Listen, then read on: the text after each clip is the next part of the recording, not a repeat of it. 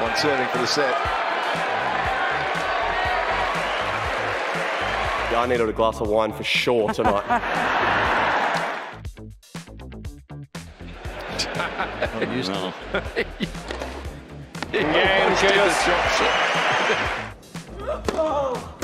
Can't buy a first serve. Net second serve.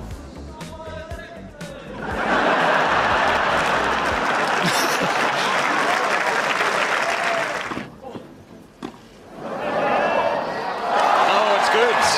it's good from Kyrgios. They very, very rarely come off. Nick, just give us your initial thoughts on that match. like easily could have gone the other way today. You know, a couple lucky shots here or there, but he put himself in a position to win.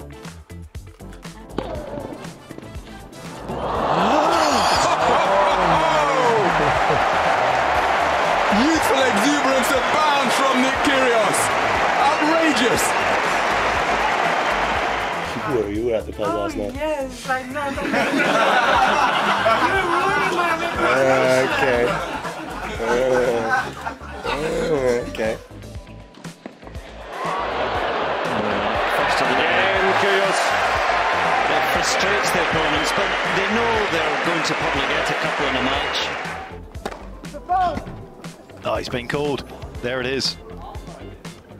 Yeah. That's what he has to do. He can't call it before you hit it.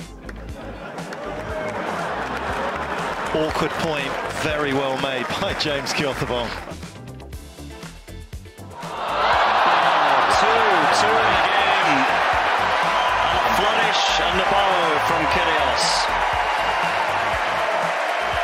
They're not the right shoes. He's got the wrong shoes with him. There you go. I left my tennis shoes in the locker room. and He's talking to the guy in the crowd. Good start.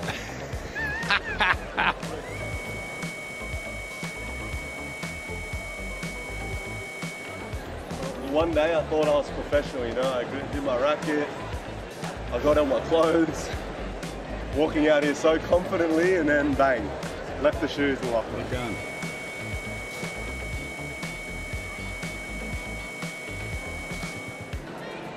There you go. There, you, the assistant referee Denise. They're as big as Denise.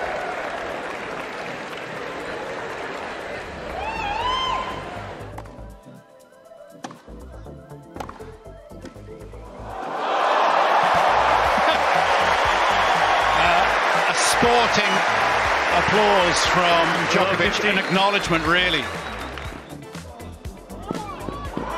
Oh, that is impossible. I mean, he was almost in the stands and he hits a winner. What a volley that was too, and then the passing shot even better. Seemed to be bothering him too much, Kyrgios at that point, which is uh, having fun with the ball kids here, Nick. You know, I just wanted to remind everyone that I'm pretty good.